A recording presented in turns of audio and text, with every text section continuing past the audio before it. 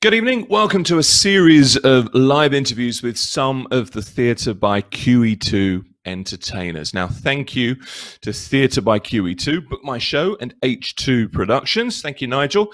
Keep pressing the right buttons at the right time, making this show work.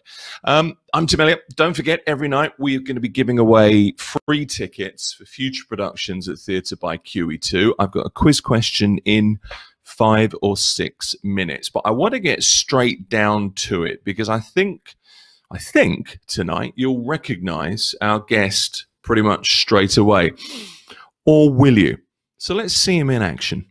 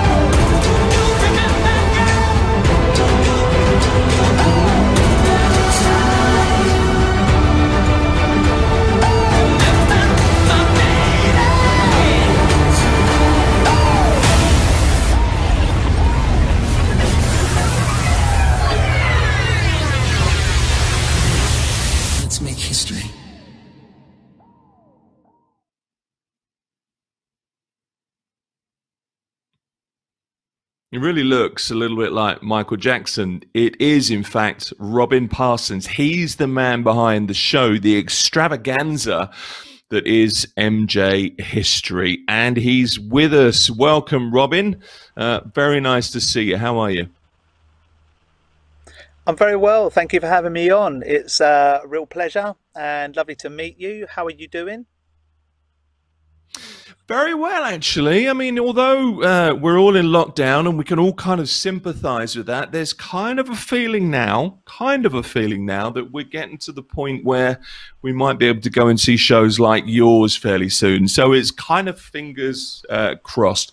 Uh, Robin, I got loads to ask you, loads to talk about, but I, I have to start with um, what on earth makes a man decide that he could be Michael Jackson on stage? What took you down that as a career path?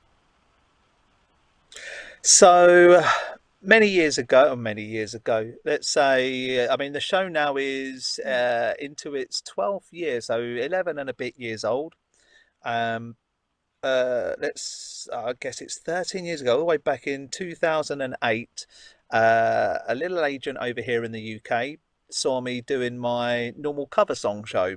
And in that, as a big Michael Jackson fan, I used to put a bit of MJ in there, a couple of songs throughout the show, but particularly I would finish with Billie Jean as kind of my end of the my little party piece, if you like, as the as the finale. And I would start off just singing as me, but as it went on, I'd do the moonwalk, and then towards the end, I'd grab the fedora uh, hit the pose and do a load of moves, similar to how Michael performed it live. And this agent came up to me at the end of the show and said, "Ah, oh, do you do a Michael Jackson tribute?" And I said, "No, no, I don't." And he said, "But you could, couldn't you?" And I said, "No, I, I don't want to. I really don't want to." Mostly because being such a big fan, I didn't want. I I just figured in my head I'd be disappointed with whatever I came up with because you're talking huge amounts of production huge amounts of uh, FX, costuming, the look, the sound, everything. Um, I've always been one of those people. If I'm going to do it, we're going to do it properly. So I was very much of the mindset that if I even try and do this, I just think I'm going to be disappointed with it. But he was really, really persistent. He'd phone me regularly with a bunch of dates for my diary, uh, just in general for normal shows. And every time he did, he'd always uh, end the conversation with, "Now you know what I'm going to ask you," and I would just fob him off. I'd just say, "Yeah, I'll think about it. I think about it." And sort of four months into this process, I did. I sat down and I thought about it. and I just decided, why not? Let's have a go. If I don't like it, I can always say I'm not doing it. And I've never looked back. We spent a good 10 months putting something together initially. Um, it was an absolute, let's say, a costume of the man compared to what I am today when I'm on stage. It was not a patch on what we do today, but we've evolved it. We've made it bigger and better, and we continue to do that each and every month, really, each and every week. I'm always looking at what else we can do, how else I can change things to make it even more of a likeness, an even bigger show, and even better experience. I, don't want to be rude to you, and I'm really not trying to, but there's one thing I've noticed. Um, you don't look a great deal like Michael Jackson um, at the right, moment. Now, to turn into him from where you are is a transformation. And I just want to show a little clip of a video from your website to give people some idea of just what it takes.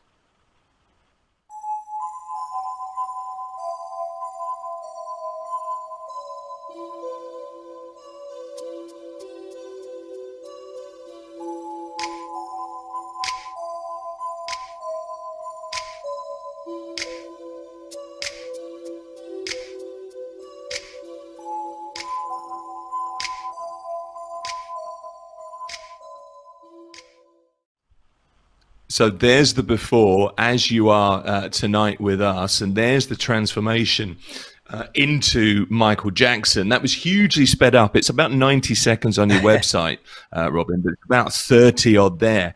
But just how long does it take to transform into Michael for the shows, uh, for, for every show? Well, firstly, I wish it was as quick as that. It would make my life so much easier. but um, you're looking at approximately two and a half to three hours for every single show, whether I'm performing one song, whether I'm performing a two hour show, no matter what it is. There's no getting around it. It's from start to finish, from when I first sit down and pick up that sponge and do the first dab, right the way through to when I'm ready to go on stage. You're looking at about two and a half to three hours it's a huge amount of time and that's for every show. So effectively a show is not just rock up in your jeans and jump on stage. It's it's a six hour kind of marathon isn't it? Uh, who taught you to do that makeup? Because it, it impressed the hell out of me. There's no kind of handbook on how to make yourself up to be michael jackson is there not even slightly, but I really wish there was. And come to think of it, perhaps I should write it because surely that's a new avenue in these trying times. Um, it, it, um, it's for the vast majority, it's self-taught. So, I mean, if you saw pictures of when I first started doing this, again, similar to when I first started performing, it's not a patch on what we do today. The look back then, back in the first shows back in 2009, even for the first year, uh, isn't even close to how I look today. And even as I said earlier, we're constantly looking to evolve things, looking to make things better as we go along. So um, it's self taught for the most part. I've had a little bit of influence as we've gone along. Um, from uh, we used to be sponsored by a company called Charles Fox over here in the UK, who are a big theatrical makeup company. They're a supplier. Um, and for, but for the most part, it's just trial and error. It's try something, see if it looks good, do a few shows on it, see what people think. I mean, one of the key issues is because it's such an energetic performance, and quite often, for instance, like when we're out uh, in your wonderful country that you're in right now, uh, it's the weather conditions are exceptionally hot. Uh, so when we do something mm. outside, it's sometimes just about keeping it on um, and not end up having a face down here. So, um, but it's it, yeah, for the most part, it's trial and error. Sometimes I'll find something new, literally by accident. I might get jogged, or I might do something slightly wrong. So, uh, but then you then look at that and go, oh, actually, that's quite good. So it it's a lot of trial and error, a lot of uh, a very time consuming thought process, shall we say, as well. Um, yeah. I, I mean, I can imagine. I, want to talk to you about uh, costume changes and image uh, a little bit later, but the, the main image there is kind of the late 80s, early 90s, Michael. The white shirt, the lock of hair, the black uh, trousers. That that's kind of the. Is that the image that you think most people relate to? That's how most people see Michael Jackson. I think for us, it was a combination of what we could uh, or what I could do with the way I currently look to make it work uh, so that there was as good a likeness to an era of Michael Jackson. Um, obviously, being white Caucasian, it's easier for me to go with later Michael. Um, mm. But also his his facial features uh, were more that way inclined to some extent as well. So it's um, a case of a combination of that combined with the era that I kind of grew up with the most. Uh, I'm 40 years old, so I started getting into Michael in my sort of early mid teens. So we're talking in the 90s. That was the era that I recognized the most. It's also the era that he did the vast majority of his most iconic and most well known live performances. So all three major tours Bad, Dangerous, and History all happened from the very late 80s and then onwards through his career. Um, and also a lot of the big award performances that he did, the things that people remember, things like the World Music Awards, the MTV Awards, the performances from those shows, they were from that era. So when you're talking about performing as Michael Jackson in a live um, environment, for me, I also wanted to give them the look that people most recognize from his live environments. Well, look, let's see you in action as Michael from that era.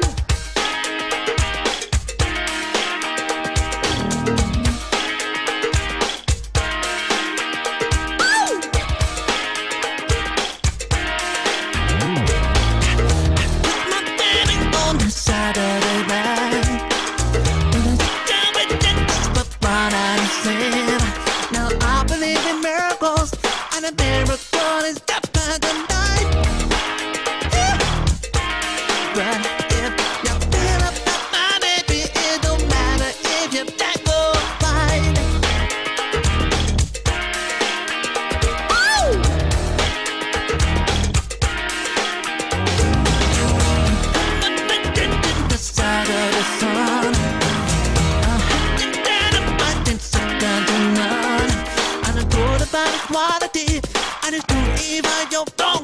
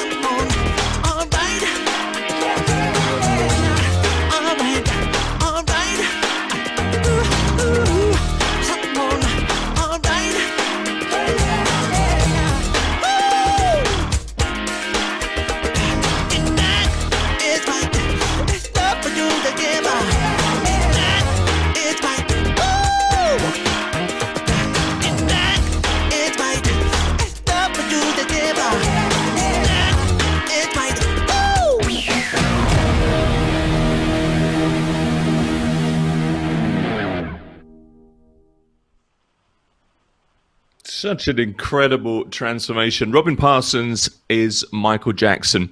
Uh, during the live shows, there's always a chance to win tickets at uh, Theatre by QE2. Two tickets to go and see uh, Robin when the show MJ History uh, comes to Dubai. Uh, what we were asking tonight is the name of Michael Jackson's ranch. Just put it into uh, the comments. And don't forget to follow Book My Show and Theatre by QE2 on social media for more chances to win uh, as well.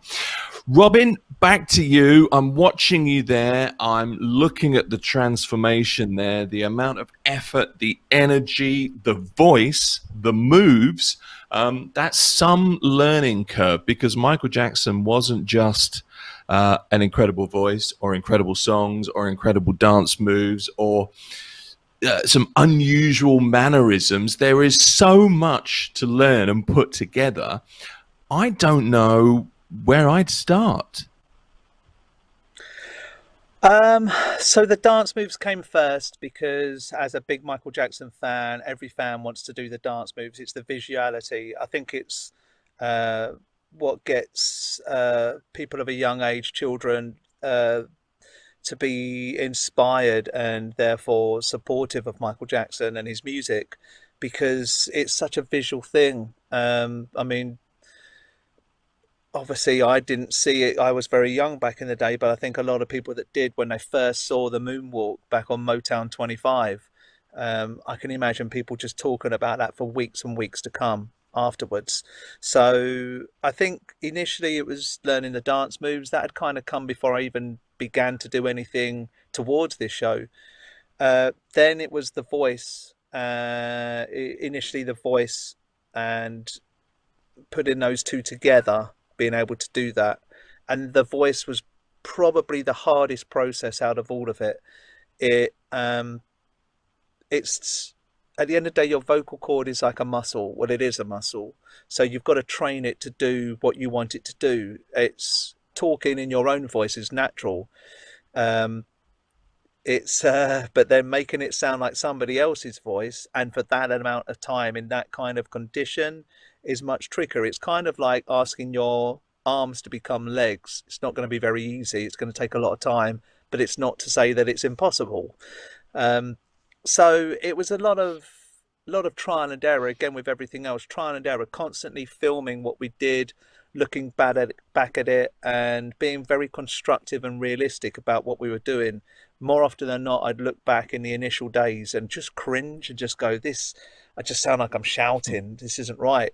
But uh, we, again, we were lucky that using resources we knew uh, and had around us, uh, get them to watch what we did and tell us their input or give us their input. Um, because it's all that's the other thing when you're doing this um likewise as somebody who does shows yourself it's very hard to um be realistic about analyzing it when you're actually on stage. And even watching a video back uh you can be a bit too close to the project to realistically uh constructively i don't want to say rip it apart but find what's good and what's bad about it. So it's good to have people in the know who are experienced to then look and then give you their input. I've always been a big uh, fan of that.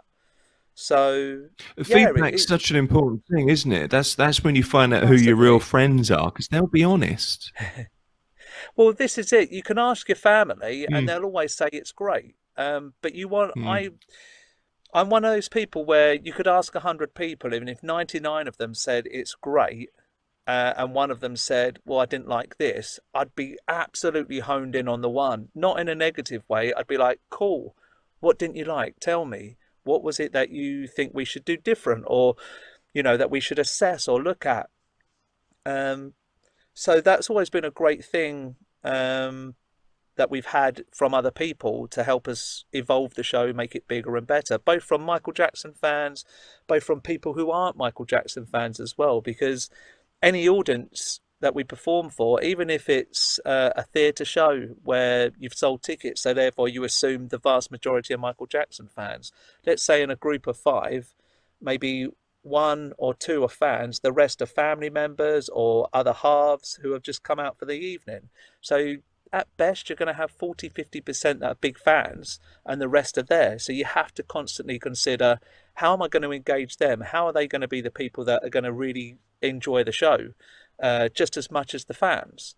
So there's always a lot of things that we look at um, but going back to your original question yes learning the dancing came before we even said yes to the show. Um, then it was the singing and the and the look of course. And and even as i said when we first started doing these performances um, it really wasn't to the level that it is now not even close um, if you ever want to torture me or you ever want to get information out of me show me those first shows and make me watch them that's the way to do it so. That's filed uh, in the memory. I mean, the thing is, what I think what a lot of people forget is that I mean, this is a, it's a hugely energetic show. It's real high energy because it, this is a big production thing, isn't it? But you also, yes, while you're doing all this, you're singing at the same time. That's that's tough to do. Very, very tough. Um, and it, again, like with everything else, it's taken time to get there. Um, because again, it's not singing as me; it's singing as Michael Jackson. In fact, I've got to the hmm. stage mm. where, for the last probably nine or ten years, I don't think I've sung anything as myself. It's always been as Michael Jackson. So I'm not even sure I know how to sing as myself anymore. I think if somebody told me to sing something that wasn't MJ, it would probably sound like MJ. Um, but the yeah, when you when energy... you're in the shower, and I hope this is not too personal, uh, and you're singing in the shower, are you Michael Jackson or Robin Parsons? I never sing in the shower. Let's say that because I like my neighbours. So good answer. so um, yeah, it's the the. I think the thing is, it, it took like with everything else, it took time. Like for instance, for the moment where we're not performing, for the first time probably in about 15 years, I'm working out. I'm running at least every other day. I'm doing weights and stuff just to keep in what I call show shape.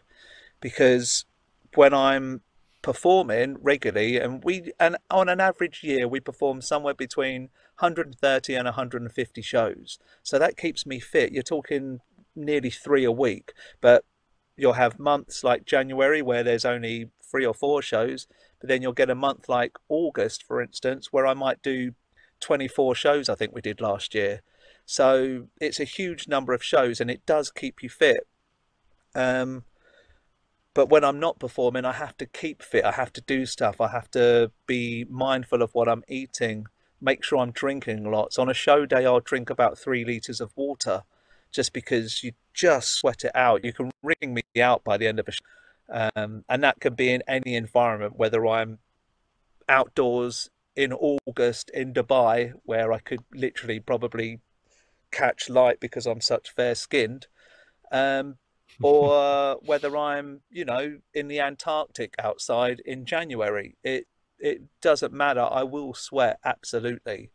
Um, so I think from that point of view, keeping fit's very important, and all of that again has come with time as I've done the show more and more. Um, it's learning how to how to look after yourself and look after the voice. Let's get a bit more of you as Michael, uh, really using the voice. Let's roll the tape. Okay. All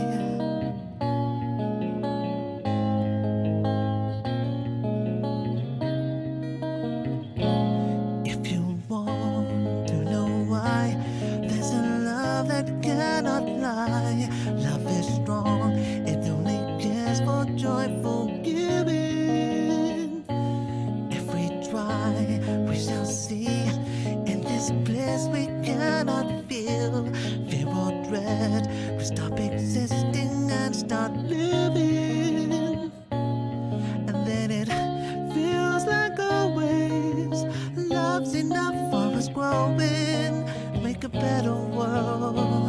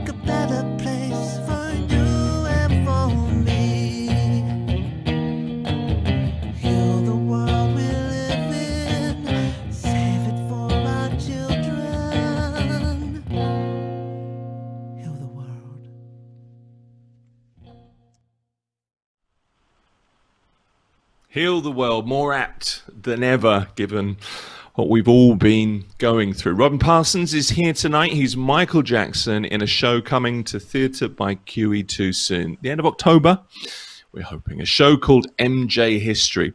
Plus, there's a chance to win tickets to the show. The question relates to our guest. All you have to do is write the name of Michael Jackson's ranch in the comments along with your name, and we'll announce a winner at the end uh, of the show. Don't forget to follow Big Fish Comedy, Book My Show, and Theatre by QE2 on social media for more chances to win as well. Robin Parsons or Michael Jackson, I don't know quite how to address you now, uh, I'll be honest. Um, the hardest song to do, what's the most difficult Michael song to pull off uh, on stage? Without any question of doubt, Earth Song. No questions in my mind. It's the end Right. section. Um, and we only perform it when we're doing our full production because it's a big, big thing. And we like to do it with the full scale production behind it. So you're talking the dancers, the screens, the band, the whole thing. Uh, and our version, we've made it quite epic in sound and everything but it's that end section. How high is uh, the vocals absolutely through the roof. Um, and uh, yeah it's when you uh, in our show it comes at the end of the first half. And so Right. you're talking it's at the end of approximately 55 minutes performing already. Uh, the show consists of about two hours of uh, two hours two two one hour sets if you like. Um, and it's that end section that everybody sort of remembers that uh, the "What about yesterday?" all that sort of stuff. But obviously, in that raspy, big chest voice is, um, and still be full out performing and giving it all the moves and the mannerisms. Uh, it's a it's a big ask, a real big ask. It- I mean, that's that's a big production number of a song, and the falsetto is, I guess, a real challenge. Well, I don't know if I'm going to ask you two questions now or one question. Um, what's the song that really gets it going, that really gets the party started? What What's that one song or moment that always gets an audience? And also, and I don't know if this is the same question, what's your favourite? Okay, so I quite often find with the getting a party started, that varies from place to place, whether in the UK or country to country around the world. Um, Hmm. in the UK, I can guarantee that when we hit some Jackson 5, the place is going to go mad and they're going to be up and they're going to want to dance. Um, other places, they want things like black or white. Um, one place absolutely was begging, and once we did it, they were just on their feet going mad for Jam, which, you know, a lot of people, although it was a big single release and went number one over here, uh, a lot of people don't necessarily immediately, it's not a go to song when you say Michael Jackson for a lot of people. Um, but then that's such a vast back catalogue that you're a bit spoilt for choice. Um, I can guarantee Billie Jean in pretty much everywhere will always get a reaction, will always get people up and ready for a party. That's a guarantee. As for me performing, um, do you know what? That changes all the time. Uh, there's a song that I'm looking to put back in that we haven't done for a while, which I'm 100% I'm hoping to have ready before we're performing again, uh, which is They Don't Really Care About Us or They Don't Care About Us. Um, Right. and it's just that beat is that it's that that just that driving sort of rhythmic um sort of military drum type sound and it's just I just really enjoy performing that song and it's very apt at the moment with a lot of things going on in media um so yeah I sort of over the last few weeks I was just kind of like oh, we've got to get that one back in. And there's a really really cool version that one of the Cirque du Soleil shows put together that we're going to try and adapt and maybe make work for our show. So yeah really looking forward to bringing that one in and and get my vocals wrapped around that again I can imagine that because that's kind of Michael's uh, almost like his protest song in a lot of ways, isn't it? It's got that really insistent repeat of the chorus and that sort of driving uh, backbeat. So I imagine as a performer, and you would look at it differently to, to an audience, of course. I could see how that would get you moving, get you get you really pumping. I think the thing is that whole album, the history album, especially you had the double disc, so you had a best of, if Mm. you like, 15 or 16 tracks uh, from there backwards. So you're talking from the 70s, 80s, 90s. I think there may have been a bit of Jackson 5 on there too. Uh, and then you had an album of brand new material.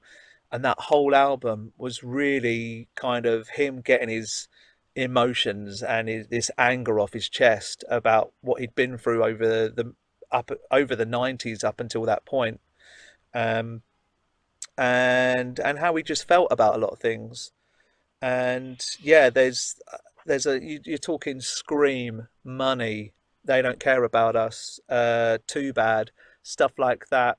Um they're all very uh they're all very they've got a big message behind all of them. So yeah from a from a performance point of view they're just they just feel really great. They you just get this raw emotion this raw grit and this power into what you're doing when that song comes on and when you've got all that musicality hitting you from behind uh, and you've got an audience loving it it there's no better place to be so I absolutely can't wait to get back on stage and making my hair stand up talking about it now. Can't wait to get out there and do it again. I want to ask you about your your kind of abiding memory, your sort of personal memory uh, of Michael Jackson, because I have one, and I've watched it a good few times in the last few months because it's it's the moment. I think it was the MTV Music Awards, and I think if I'm right, it's 82 or 83. But it was the first time he did the moonwalk on stage, and it wasn't a very. It was only five or ten seconds during Billie Jean, but it it wasn't particularly the song, although Billie Jean is, for want of a better word, iconic, and it wasn't really the fact that he did the moonwalk it was the look on the faces of the audience, the assembled audience of superstars, really, who just looked and went, What on earth did he just do? And that's kind of my memory of Michael. What's your kind of abiding memory of, you know, the man that you pay tribute to for a living? Okay, so just going to your point, that was uh, Motown 25, uh, where they did the big celebration right. of Motown music and they got him back with his brothers and they did a few songs together and then that's when he did Billie Jean and unleashed for the first time ever the moonwalk um, yeah for me mine will be very different to some extent i've got two um, one of them first and foremost let's go with what i've watched and that would be um, i think one of the ones that really got me that I absolutely just fell in love with. It was his performance quality more than ever. I've been a big fan of sort of his popping, if you like, the robotic sort of stuff that he does. Um, all of that sort of real, if you want to call it jerking or whatever. But um, when he did the World Music Awards, um, uh, I, I can't think when it was. I want to say 96 maybe. Um, and he did Earth Song not a song you would necessarily consider to be a lot of dancing in, but his moves in that were immense. And then he freestyles at the end of it, and it's just this. You're just like he's doing original key, and he's freestyling this stuff at the end, um, and you're just like, wow, it's immense. On top of that, if we're talking of performances, uh, probably more than ever, the MTV Music Awards 95 performance that he did, where he did this little quick medley of songs. He had the sort of the shorter, slightly almost bobbed like hair. And he, uh, it, it just blew the world. He had Slash on guitar on Black or White with him on stage. And yeah, that, that was massive. That was a big thing. One of the real big ones in my mind, though, for me, uh, memories of Michael Jackson, especially. I was very, very lucky, very, very honoured to go and perform for him on, at his 45th birthday performance. Uh, he had a big show out in LA, put on by fans, and I was very honoured to be invited to go and perform out there. This was before I was doing this show, so I was performing as me. Right. Back when I used to have a blonde mohawk, and uh, yeah, it, Michael Jackson was obviously there, and I got to perform a quick medley, about a three-minute medley of a few of his songs, and just to be able to do that in front of Michael Jackson was still to this day dreamlike. Uh, if you told me it didn't happen, I'd probably believe you, and that maybe I just dreamt it up and imagined it. Um, I can't even remember what actually happened. I just be I just remember being at the side of the stage, and most of these people that are performing, uh, like I said, were big fans, but didn't necessarily had experience of being on stages very often. Whereas I had uh, my career to that point, I'd been an entertainment manager, so I'd, I'd sung on stage quite a bit in front of a few thousand people and stuff. So I was just remember people saying, Aren't you nervous? And just thinking, Actually, no, I just want to get out there. And I think I was even sort of at the side of the stage, jumping up and down, just just desperate to get out because I just had this energy that needed to get out of me. And from the moment I walked on to the moment I came off, I can barely remember a thing that happened. But there's always one thing that I do remember. I remember at the end of the show, at the end of my performance, should I say, I went over to the side where Michael was and I looked up at the box and uh, I think we I was singing "You Rock My World," and I sort of said, "Hey, Mike," and sort of did the whole like "You rock my world," but sung it properly. I don't want to blow your speakers and burst it out, but um, I at the end of that, I then sort of got down on my knees and do you remember the film Wayne's World when they kept doing the whole "We're not worthy, we're not I, worthy." I do. I got down on my knees and gave Michael the "We're not worthy" bow, and I to this day I remember him standing up out of his seat and giving me the "We are not worthy" back, and I just think I'll take that that that memory will live with me for absolutely ever. Um, it's precious, it's unique, and uh, yeah, that on the bad days that one keeps me going. It was always in you. You're you're obviously on the right course. I suppose um, on a scale of one to ten, that was off the scale.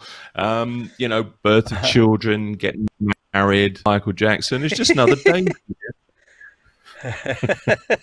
uh, certainly, I think. Uh, hang on, I've got to think about who might watch this. So let's say kids, Mrs. MJ. Yeah, just they're all very, very close at the top there. So Brilliantly diplomatic answer. Well done. You passed the test.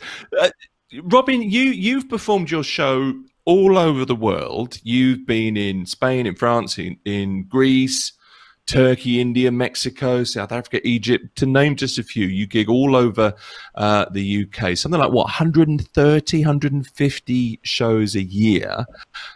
Mhm. People love Jackson everywhere. Have you ever been anywhere, or could you name anywhere that doesn't like Michael? Oh, Not I don't so think there is. I think it's like I- if you find somewhere think it was one without Coca Cola, you know, Yeah. yeah. it's kind of I've not done Antarctica yet, so maybe there. So okay. And the, the I- other I thing think is, it's one of those things. Sorry, it's one of those things where Yeah. you're you, you can go to places and everywhere's different. Every audience is different. Everyone interprets what you're doing different. Quite often, when we're in another country, um, the people in front of us don't necessarily speak English, and I'm not fluent in just about any other language. I barely speak English well these days. Um, so it's um, so you're really letting the music do all the talking uh, and the engagement process of getting them on board with you and feeling like they're involved and being part of the show totally comes from what you're performing and how you're performing it. So that really one speaks uh, let's say speaks volumes uh, when it comes to music but massively with michael jackson that doesn't matter where we seem to go there's always an audience for it it's across all age groups as well, isn't it? It's it's a remarkable thing. Um, have you ever thought of casting the net a little bit wider? I mean, any other celebrity tributes, impressions, uh, Liberace, Sinatra? You know, the, and, ever thought about that? there was a time before I was doing Michael Jackson that I considered doing a Justin Timberlake show. Um, Right. a lot more, um, let's say, pigeonholed. Um, I don't think I would do another one. I think uh, Michael Jackson, as you said, it really, it's just about for everyone. And we're talking, we do shows where there'll be kids who were born after he died. And we're talking really after he died, sort of four or five year olds who will be fully kitted out in all the costume, know all the words, know all the moves. And you're just like, wow, like even today, even when there's not new music being played on the key radio stations that kids listen to, uh, he's still engaging these youngsters and bringing people, bringing a new fan base in. Um, he's been the most listened to uh, artist, deceased artist since he died every year. I think that goes the same for sales. Um, and I think from that point of view, I, I don't think there's another artist I could replicate that one I would be as engaged with, as um, positive towards from a performance point of view, would be looking forward to doing as much. Um, I love the challenge aspect. As we've said through this interview, there's so much that is very difficult to do with this. And I've always relished in the challenge and really loved it. And don't get me wrong, so many times we've got it wrong. So many times where I've not been able to do the show the way I want it or not been good enough to where I want to be good enough. Uh, but we're we're at a stage now that I absolutely think we've got a show that whether you're a big fan, whether you're uh, somebody just there for to be entertained in general, we're going to get you. We're you're going to love it. You're going to be entertained. You're going to appreciate what's in front of you. Um, so I don't think there's another person I'd do. Um, I'm hoping to do this. I'm 40 now. I'd like to think I can do this at least for another 10 years. I hope. Uh, you know, Michael was 50 and was about to go back on stage before he sadly passed. Uh, let's hope uh, I can at least be that kind of age too before I think about hanging up my fedora for the last time. Let's hope so. To win two tickets to go and see Robin on board the QE2 later this year, just tell us in the comments the name of Michael Jackson's ranch. Put your name on there as well, if you would. There's just enough time for a couple of questions, but also for one last video. Here's Man in the Mirror.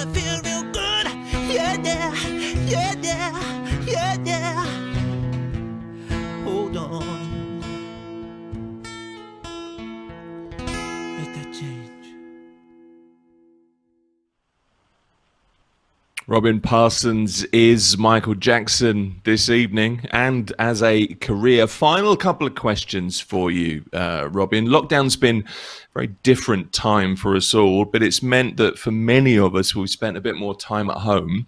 Um, you say you constantly work on the show and look at the ways of adapting and evolving uh, the show. Have you had the chance to add to it during lockdown? Has it meant you've been able to, I don't know, conquer a particularly difficult part of a song or a, uh, a dance routine? It's been difficult, I will say. Um, with our pros- when with our process when we put things together, there's a lot of people involved. We have a music director, I have a touring music director as well. We have a choreographer, uh, dancers. We got production team. So it's very difficult for us to all get together and make that happen. We can talk about it online through messages, through video chats and things, uh, but to then actually make that happen becomes quite difficult because you can't easily all get together, see how that works, and make it happen. So I quite like to be there for the process when we're actually putting these things together. So I will sit in the studio with my MD when we're creating uh, the the track that accompanies the band, um, so that I can say, oh, I want that that stab to hit there. I want that noise there. Uh, let's cut that verse and do this instead. Let's do that. So I like to be there, and that's obviously very difficult at this time. Um, that said, uh, I've had a lot of time to think about it. As I said earlier, I really want to get They Don't Really Care About Us back in the show and a bigger, better version of it. I want to make much more of a thing about that song. Uh, there's another song I really love that for a while, since probably probably four years, I've been working out when and how we're going to put it in. Uh, but I think we're going to try and get that in before the end of this year, which is "Will You Be There," which is a beautiful song. Okay. Um, uh, and that's always difficult as well because when people go and see Michael Jackson, there's expectation to see certain songs. Uh, and there's a lot of those songs that they expect to see. People expect to see Thriller, Beat It, Smooth Criminal, Billie Jean, uh, Man in the Mirror, a uh, bit of uh, Jackson 5, and many others that they uh, just um, are, are ready to see, expect to see when they when they come and see us. So we have to be very careful about what we take out because we also can't do a show that lasts three hours long. Um, partly because I think you'd be scooping me up off the floor by the end, uh, but also because we have to stick to time limits with what people want. So it's actually quite a tricky thing when we're putting new stuff in. What are we going to bring out? Um, and hopefully upset people the least. Um, so yeah, it's it's been difficult uh, to come up with new stuff during this time, or certainly work on new stuff during this time. But we've definitely got some ideas for stuff that we want to start introducing uh, as soon as we can. Start working on it at least. Couple of quick questions for you. Uh, mm-hmm. Dance moves. You've cracked the moonwalk. I get that. Um, how on earth do you do the smooth criminal lean? Well, I'm hoping that we'll be able to do that uh, when we're out there with you guys uh, late October. Right. It's a bit of a trick Mhm. to it. Um, it's not something that you can just walk up and do. There's a bit of, uh, let's say, planning without giving too much away. It's a bit of a magic trick. And I know what magicians are like. Like, They don't like to reveal the the tricks of the trade. So maybe I won't say too much on that one. I think don't want to get in trouble. Diplomatic again. Um, so you're going to be out hopefully towards the end of October if everything goes uh, well and continues going in the right direction. Um, what are you looking forward to about coming to Dubai to the QE2? I've been very privileged over the years to do a number of shows out in Dubai. Uh, I really can't Mm. wait to get back get back out there. It's been a probably a, a year, two years since I was last there. Um, Right. do you know what it is? I just the thing I love the most about Dubai, there's two things. One, your weather is always glorious. I don't think I've ever seen it rain there. Um, and and then two, it's one of those places where there's always something going on. There's always something new happening, a new place being built, a new thing happening. Uh, it's always going to be the next biggest thing.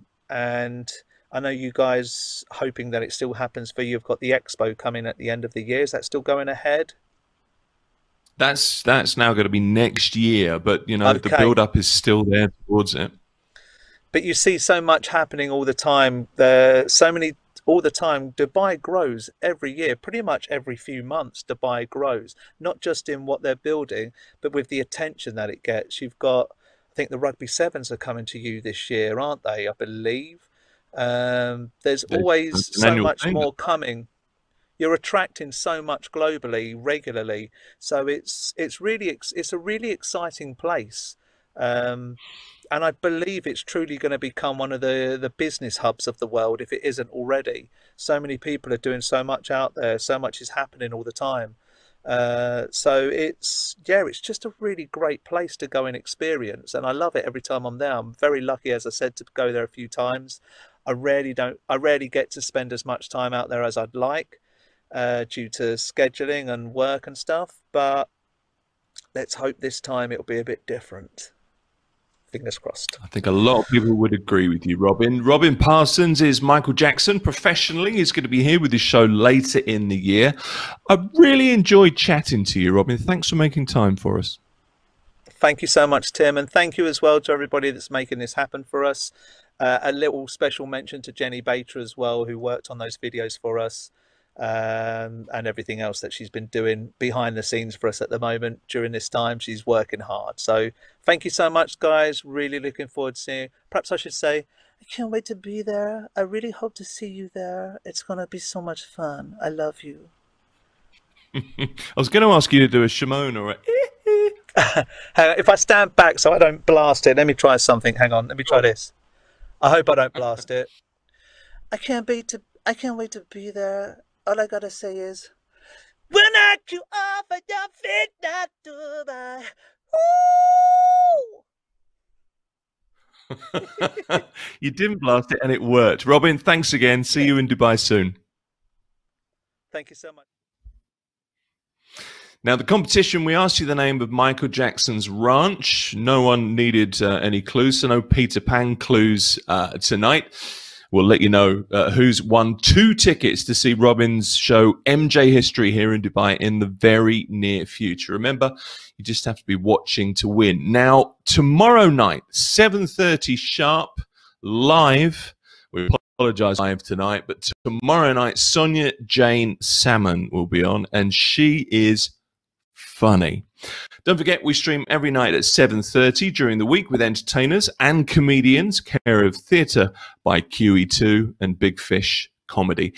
Thank you to Theatre by QE2, Book My Show, and H2 Productions. Thank you, Nigel, for pressing the buttons in the right places and for bringing you the show. Stay safe, wear your masks. Good night.